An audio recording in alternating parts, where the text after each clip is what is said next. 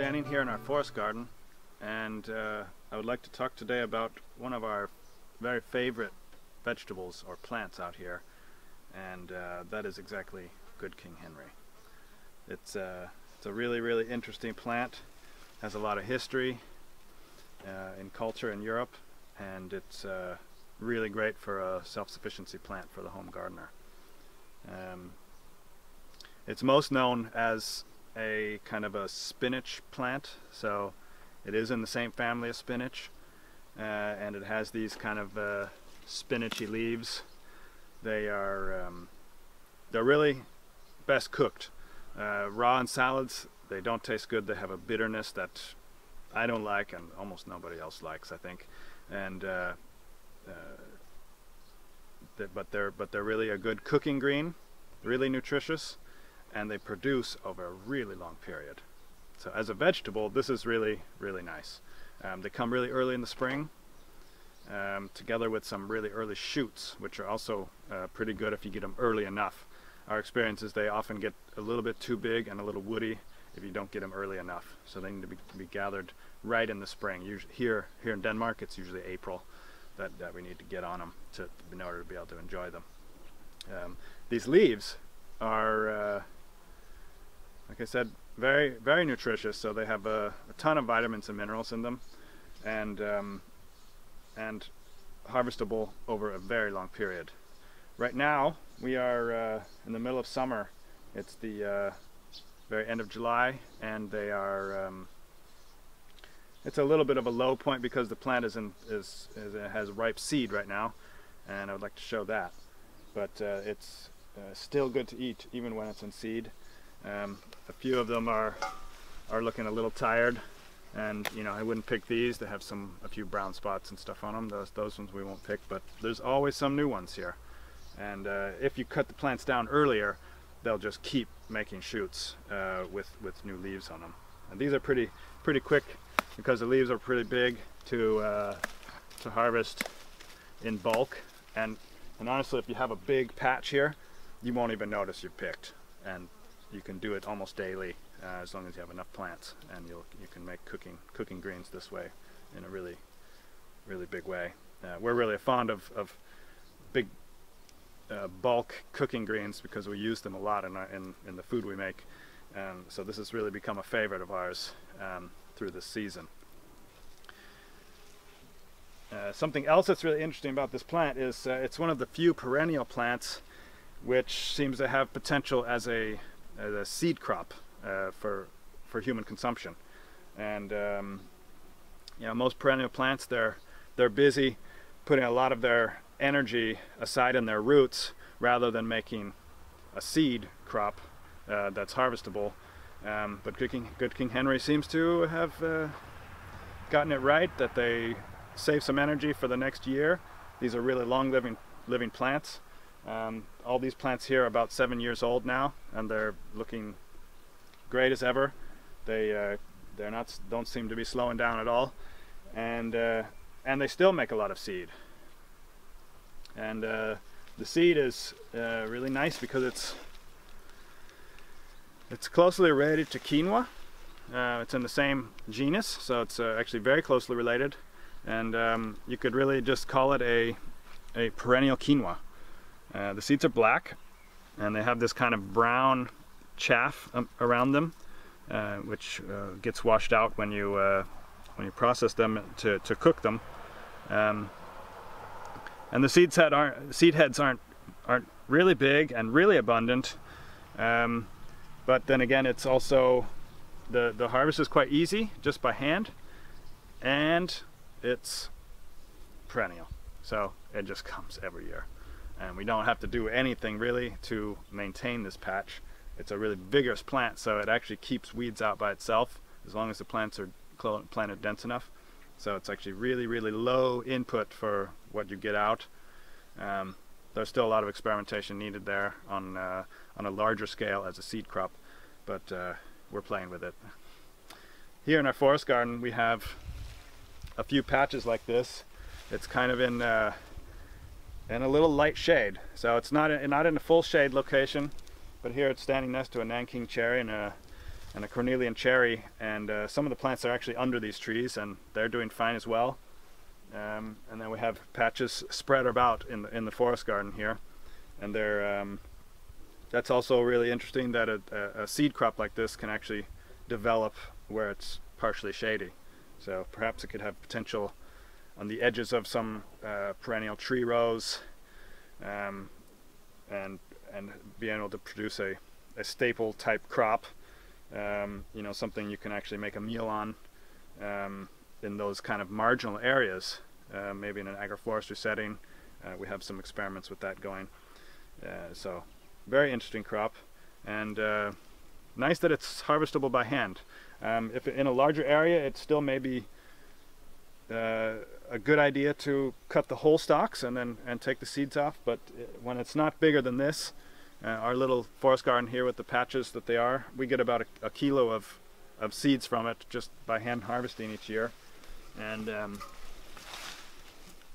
we kind of use the, uh, the squeegee method, which is basically using your hand as it is and you just place it down the stem where the seeds start and there's a few small leaves in there um, and then you just kind of squeegee them up like that so all the seeds are, are collected in one place these leaves will be removed later, uh, so it's not a big not a big issue. Um, so they just come into the seed batch as it is, and uh, just like that.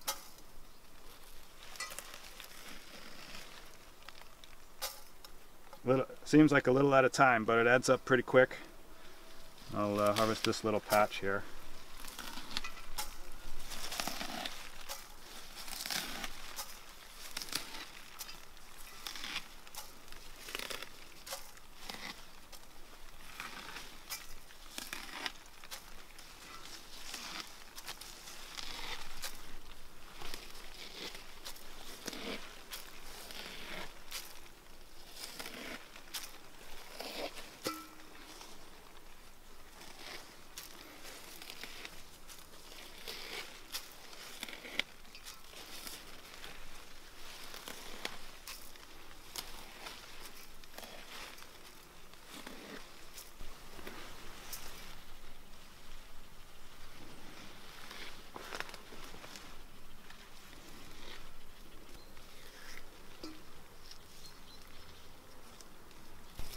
So now we'll do an initial cleaning of these uh, Good King Henry seeds.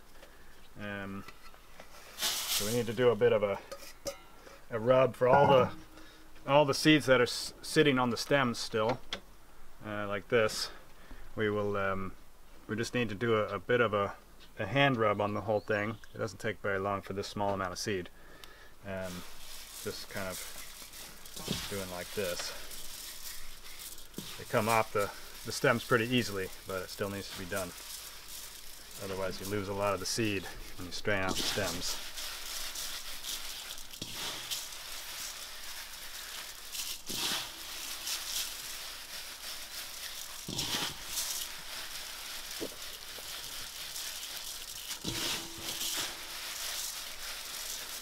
You can also do this after after all this is dry, um, but all these green leaves does take a bit a bit longer to dry up the whole the whole batch and they need to be stirred quite often. Um, so you can easily do it now as well, right after after picking a bunch. That's probably pretty good. Shake it a little bit, most of the seeds go to the bottom. And actually you can you can kind of clean up the clean it all up just by starting by shaking it a bit first. So you know this this is all leaf matter here. So there's a few seeds in there, but it's not a huge loss. We can take remove start to remove some of that.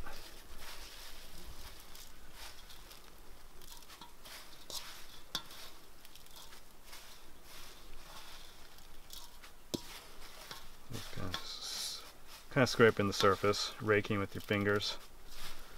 Um, you don't want to get any of the too much of the seed with it; it'll be wasted. Pretty good.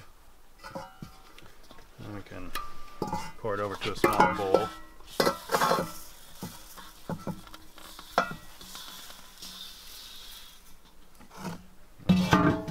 Put it back through a, a seed cleaning screen. and it's uh, yeah I don't have the actual measurement on these uh, on this exact one we have different ones for different sizes of seeds and it's it's really nice depending on the size of the seed you have that you want to clean to have one that's just smaller than the seeds and one that's just bigger than the seeds so you can get all the big material out and then you can get all the smaller kind of dusty material out with the smaller screen um, but if you don't have that, you can you can always winnow and, and do some other things. Um, with Good King Henry, we'll just strain it just with this one screen. So we'll put a little bit at a time through here. Maybe about like that. Just shake it through.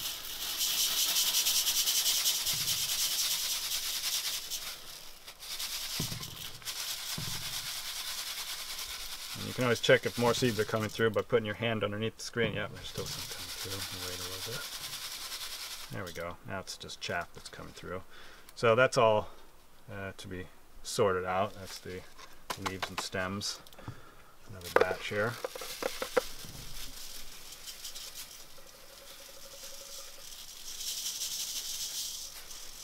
That's the rest of it. And if you do it a little high and there's a bit of breeze, you can actually lose some of the chaff already. You can see it's starting to winnow out.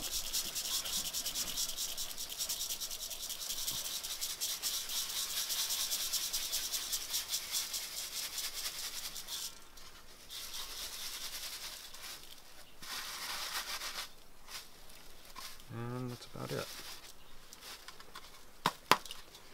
So what you have left, there's a couple small pieces uh, been missed. Um, is uh, more or less the pure seed. And uh, it has this brown uh, kind of casing uh, on the seeds still. Uh, and there's some insects crawling around and there's some other chaff and such. So we'll, we'll dry this uh, a little further, also because there is some moisture in these seeds still. Um, but without the, without the leaves and the stems, they'll dry a lot quicker. Um, these will just, we'll just sit them in a bowl in the house um, for a week or two until we feel like they're really, really dry and kind of hand stir them uh, every every day or so just to keep get some of the moisture out. And then they'll be ready to store, uh, and then they'll be ready to cook them after that. Here we have our Good King Henry seeds in a jar in the kitchen. Um, they haven't been further cleaned than uh, than just strained and dried. And uh, now it's time to eat them. We'll have some for dinner. So they're just like any other cooking grain. Uh, usually we do like two parts water, one part grain. So we'll I'll measure it in a glass.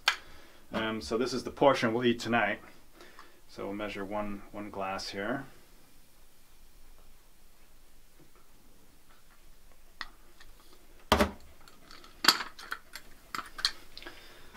Um, and so this portion, uh, now it needs to be cleaned.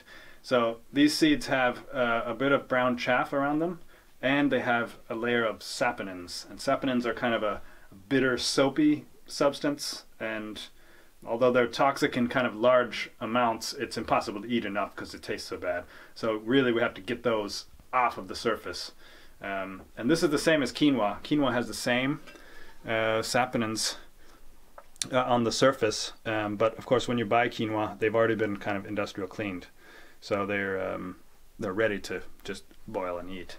Um, but these ones we have to do ourselves. Um, so I pour them into this blender here, and uh, now this one's a little wet. So let's get a little water. What we want to do is we want to have kind of a rough a rough scraping. It could you could also just do this rubbing the seeds between between your hands. Um, uh, we have a we have a hand blender which goes at a pretty slow speed. So I've just put a whole bunch of water in on top of that one glass of, uh, of seeds, and we'll take it over here to our blender.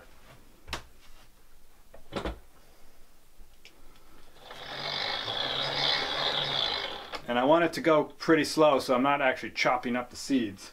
But what I'm doing is I'm kind of roughing up the outside enough that the chaff will be rubbed off and some of the saponins. And we'll do this a few times.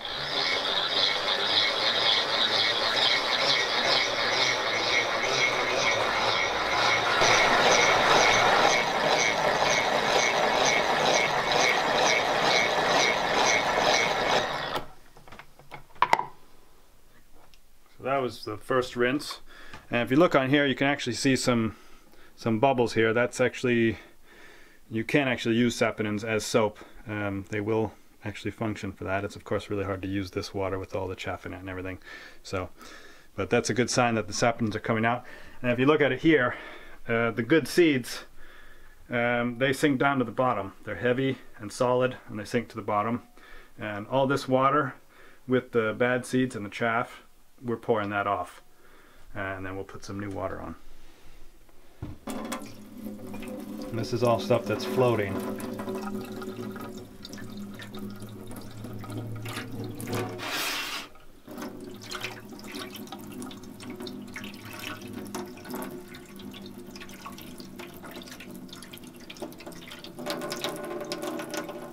Now we're getting to the good seed down at the bottom. So we'll put some more water on.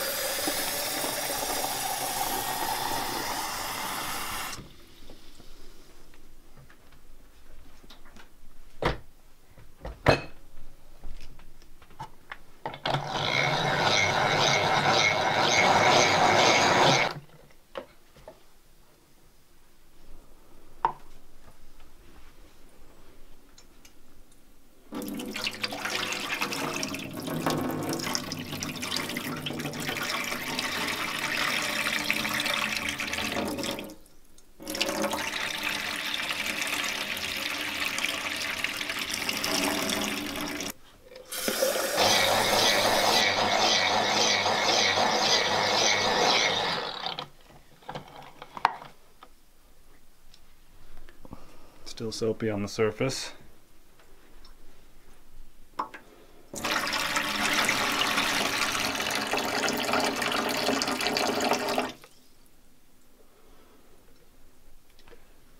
I'll do one more time.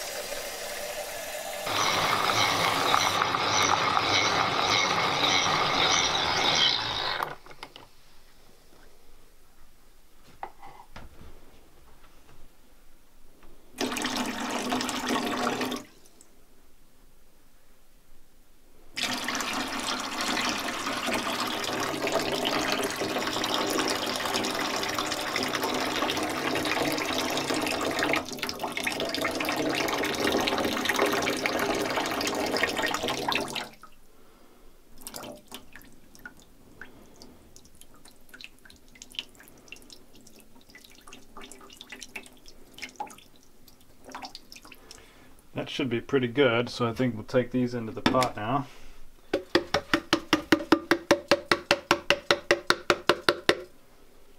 a little water. Them. Right, now we'll just measure the water for the cooking. And we'll put a little less than two, because there's already some in there. Like that and uh, and then it's just boiling it, just like quinoa.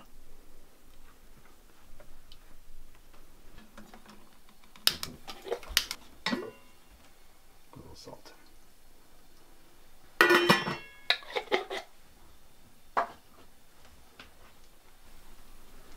So it's probably about done.